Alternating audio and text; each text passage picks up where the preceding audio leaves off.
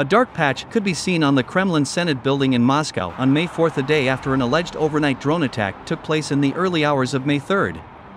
Moscow said on Thursday that the United States was behind what it says was a drone attack that aimed to kill President Vladimir Putin, while Moscow's forces fired more combat drones at Ukrainian cities, including the capital Kiev.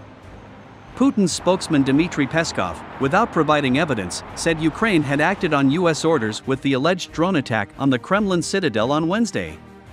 The dark patch on the roof appeared to be scorch marks left in the wake of the alleged attack, but Reuters could not independently verify this.